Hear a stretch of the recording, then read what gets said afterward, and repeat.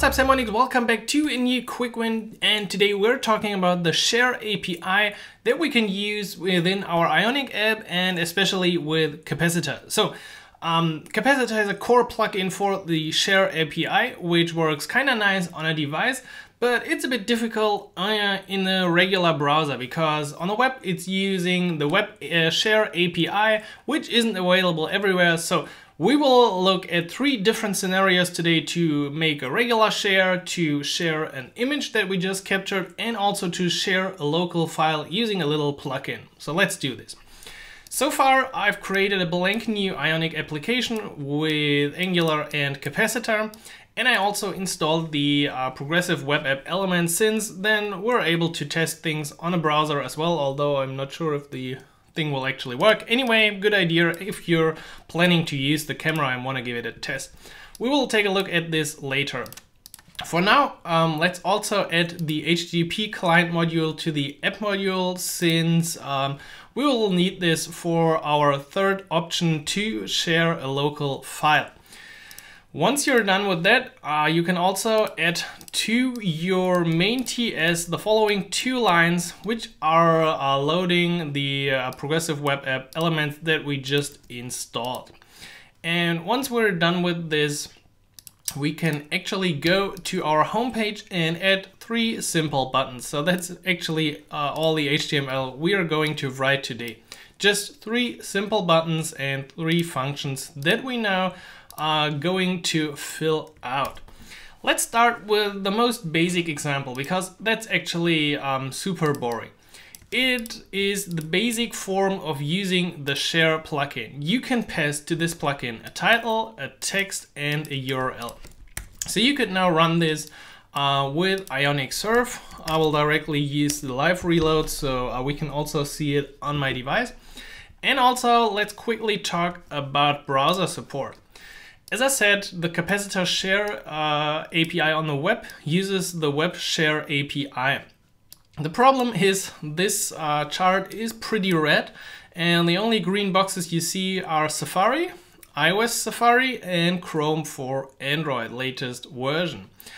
Well, that is not really uh, uh something we can work with so um, I will just show you how it would actually look like within Safari. And actually, to be honest, um, I don't think it's the best way of sharing something on the web.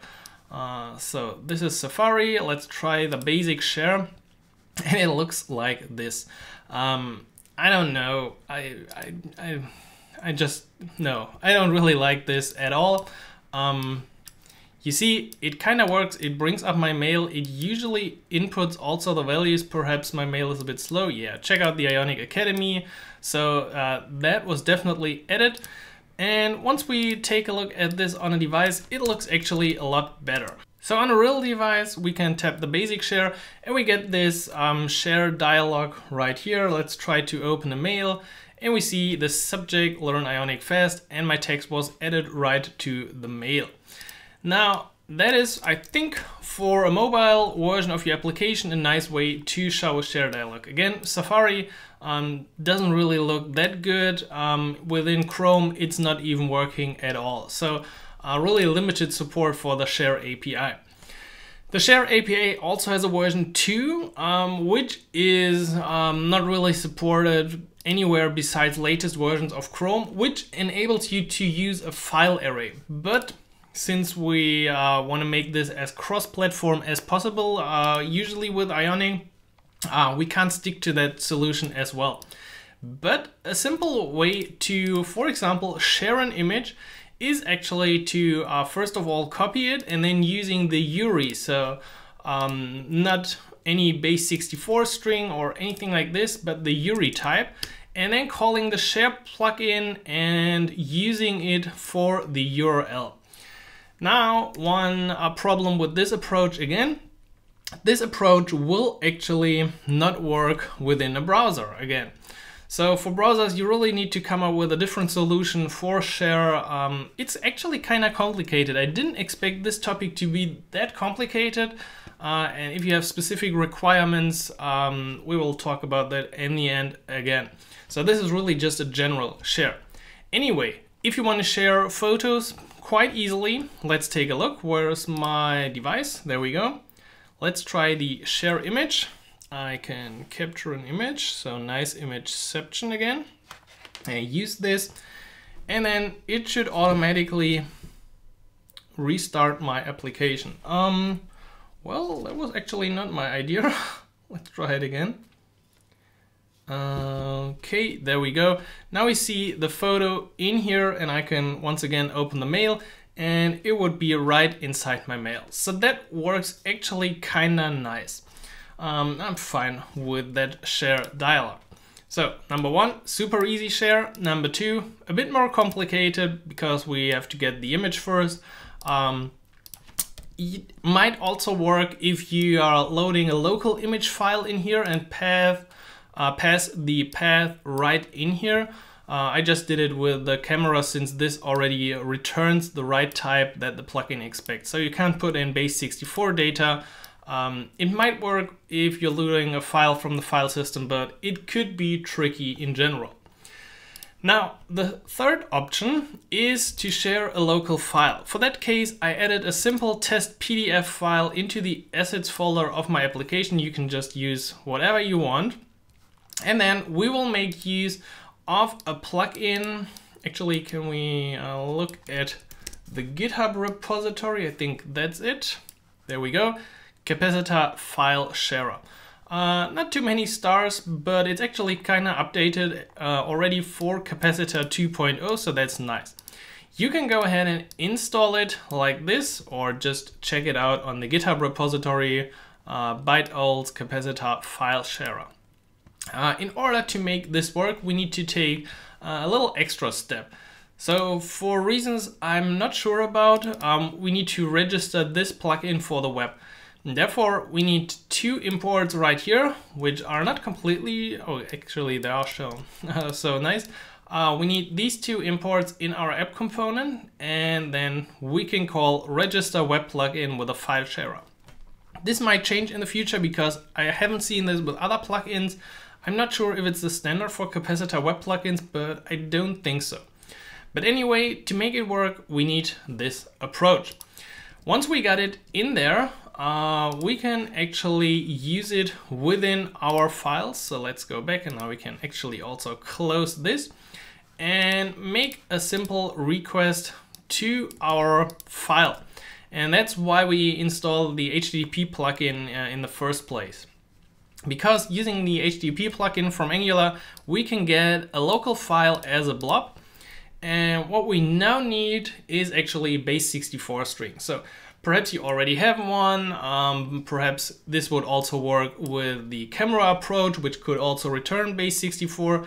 But if you want to use a local file, this approach would work great for you as well. So you would get back a result, which is a blob. And then I will um, well, let's try to do this without making any typos. So we can create a new file reader, which will read our file. Um, so there will be dragons within reader on load end. Uh, actually, it looks a bit different like this. And then in the end, you call reader read as data URL the result that we got back from the HTTP client. So all of this is really just to load the local file and to convert it to a base 64 string. That's really uh, the whole idea of this approach. And once you're in here, we got the blob data. Uh, no, we got the base 64 data, but we also need to uh, split the string since it starts with like application, blah, blah, blah, slash anything and therefore we need to split the result. And to do this, we first of all grab the result and say a string because TypeScript would otherwise complain a bit about our implementation of this. So to get the data, we can now say result split, add the comma, and then take the first item of the array. So again, it looks like application PDF, blah, blah, blah, blah, blah and then at some point the real data starts. So we're splitting it and we're taking the part that follows. That's the idea. And now we can get back to the plugin that we just installed. So that's the file sharer. I'm actually not sure uh, why it looks like this again. Normally you extract it, so that could actually work. File sharer. Um, makes life a bit easier. And did we get typings? No? Okay, no typing today for me. Well, well, well. Anyway, um, to this plugin, we pass the file name. Let's just call this test PDF. The uh, data we just created here, because um, the short form of writing this is just having it once in there. And the content type, in our case, will be application PDF. And that's enough to share our file. We could also add a then block and a catch block. Um, if you encounter any errors, that is of course recommended to do. But let's see, um, again, I'm pretty sure this is not working in the browser or I think it's kind of working, but it just downloads the file. Um, that's not really the idea of this plugin uh, or of sharing uh, anyway, but capacitor file, well, it's to download and share files. Yeah, I'm not sure why it downloads the file, but Okay, also quick addition for Android, since for iOS uh, we can use the plugin we installed without anything else, but for Android we have to go to Android, app, source, main, main activity or find it somewhere else and import our plugin. That's basically always the case uh, for any other capacitor plugin. So you add the import for the plugin and then you go ahead and add a little snippet with add in here. Uh, actually, I think uh, the original plugin states that you should use something like um, additional plugins add. That's not really true. Um, for all capacitor plugins, it just looks like this and it works uh, also like this. They also have this override block. I'm not sure if it helps uh, our applications or not, but I didn't uh, see any problem in adding it. So simply add this block as well to your main activity, save it, and make sure you sync all your capacitor stuff to the native project uh, after installing the plugin so you can also use it on Android. Cool addition. Anyway, the interesting part happens within our application. So let's press the third button, share file, and then we see the document that is in my assets is now attached to this. And I could also, of course, uh, delete this and use, can I use something like Twitter or so? Um, um, well, apparently not. Anyway, um, why do I can't share? Perhaps it's a PDF that we can't share to Twitter. Can I share my image to Twitter or anything like like Facebook or Instagram? Okay, I can at least share my image to Twitter. So it's just about the plugin and um, I guess I just destroyed everything in here. Or perhaps I have just tweeted this image. Could be possible, but it's also a quite big image. Okay, Instagram share works. There we see the preview once again. So once again, three options for sharing. The simple option using the capacitor share, the um, Second option using capacitor share with a file pass to an image or anything like this. Or the third option with the additional plugin to share a local file or PDF, CSV, anything like this within your application. Once again, everything is kind of limited on the browser, so the browser support for all of this isn't really great. I don't know when the web API, the share API is available everywhere, nobody knows. And also uh, we still need to wait for version 2 to be included um, until we can really pass files to the API, then it would be really like perfect everywhere. Um, but so far, this is what we can use. If you now want to use something like share directly to WhatsApp, share directly to Twitter with a button, in that case, I think you have to fall back to the old Cordova plugins that we used.